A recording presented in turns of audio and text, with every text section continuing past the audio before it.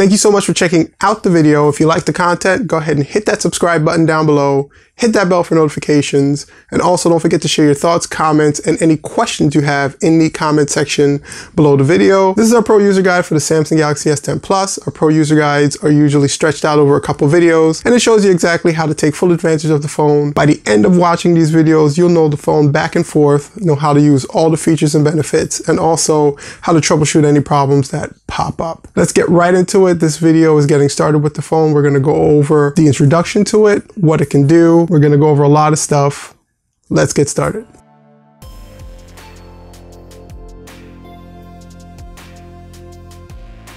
So really quickly, we're going to go over some of the device features for the S10 Plus. The first thing is it does have wireless power share. That means it gives you the ability to literally charge other devices with this particular device. It's really simple. We'll show you how to activate it. And bear in mind that it does suck your own power, so you want to use that sparingly, and the charge isn't all that fast. So it's really just in case of emergency break glass type of thing. The next thing is it does still have that Bixby button on the side, but it can be remapped to do other things. We'll show you that as well. It has a brand new triple camera setup. It also has some really cool security features that we'll get into later. It has a expandable storage. It has night mode, gesture navigations, and it is also water resistant with that brand new infinity display that kind of goes from top to bottom with the camera cut out instead of a notch. So now we go around the device a little bit, show you where everything is kind of located. In the back, we have the rear camera. Right next to that, we have the heart rate sensor. We have the power button on the side, the volume rockers,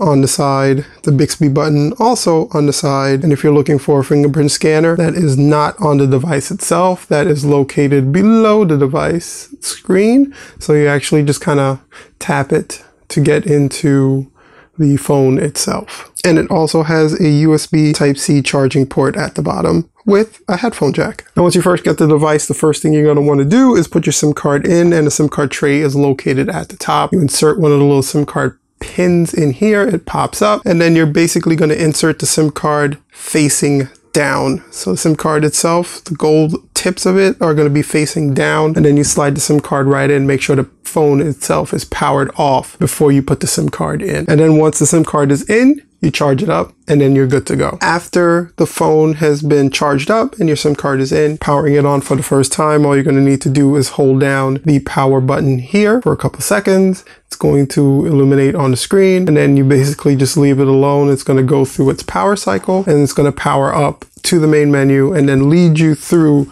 the device setup. Once the device is completely set up, then you'll be kicked out to the main UI. And it's the new Samsung One UI, which is actually not that bad. And now that you're out to the main UI, you basically have full access of the phone. You can access all its features, settings by swiping down from the top. You have different settings here by hitting this actual settings icon here. It'll bring you into the main settings. One of the coolest things I found is that you can actually search for different setting options just by hitting that search bar. It actually works out to be a little bit more convenient than actually going through the phone itself. So this is going to be basically it for the startup of the device. Remember, SIM card gets inserted while the phone is off. Power the phone on by holding the power button for a couple of seconds. Make sure the phone is fully charged. Fingerprint scanner is not on the phone itself. It's located below the device. Water resistant, infinity display it's a fantastic device. Okay, so now that the device is up and running, a couple of things you may want to do is set up your email accounts on it. You can hit the email icon on screen. If it's not already on screen, make sure you download it from the Play Store. You can search for it in here. You can also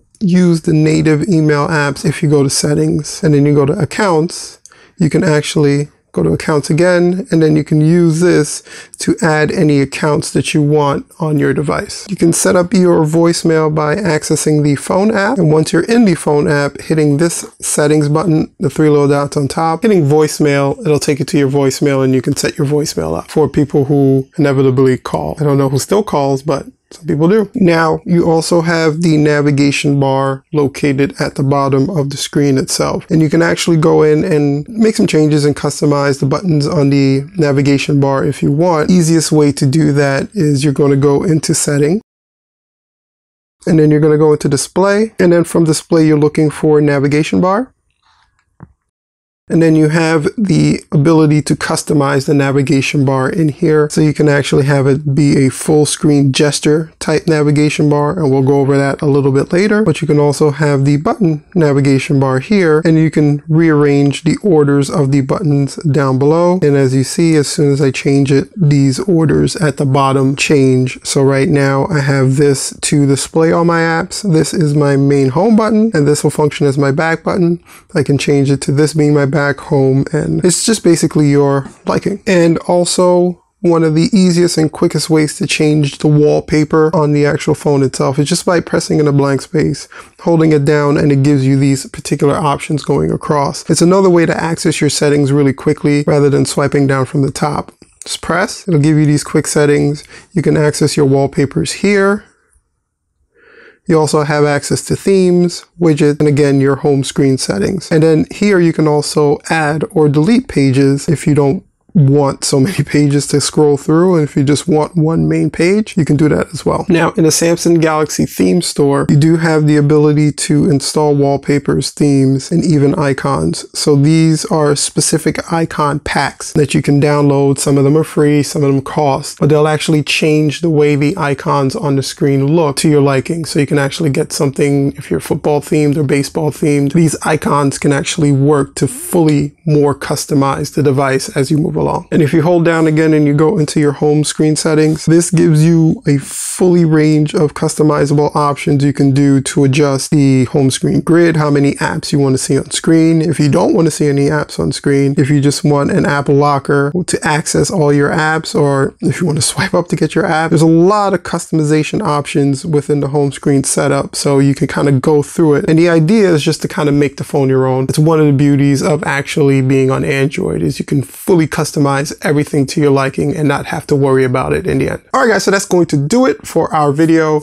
If you enjoyed the content, hit that subscribe button, hit that bell for notifications, comments, questions, thoughts in the comment section below the video. Thank you so much for checking it out. Until next time, peace out.